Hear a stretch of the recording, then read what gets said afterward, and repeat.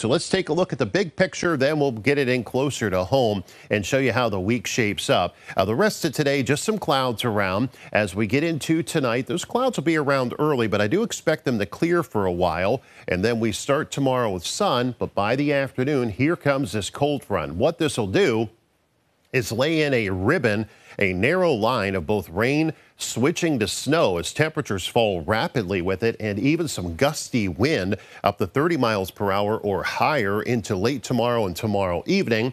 Then we catch a break. We're back to better weather on Thursday, mostly sunny skies. And then the bigger system of late week moves in on Friday, and that'll bring rain showers our way by Friday afternoon into Friday evening. The chance of some thunderstorms, and at the same time, the wind will continue to pick up. And we are going into another gusty storm system on into Saturday. Right now, it does not look as extreme as the one that moved through this past weekend, but still some windy weather trying to move in on into the start of Saturday. We'll catch a small break uh, between showers and then it turns colder behind it. And we're back into some snowflakes by late Saturday and Saturday night. And then we finally end the weekend with better weather. Uh, here's a look closer to home. And again, just some clouds around this afternoon, some peeks of sunshine too. Uh, temperatures building through the middle 40s. Tonight will clear those skies out. Overnight lows going to dip on down uh, just below freezing into early tomorrow morning.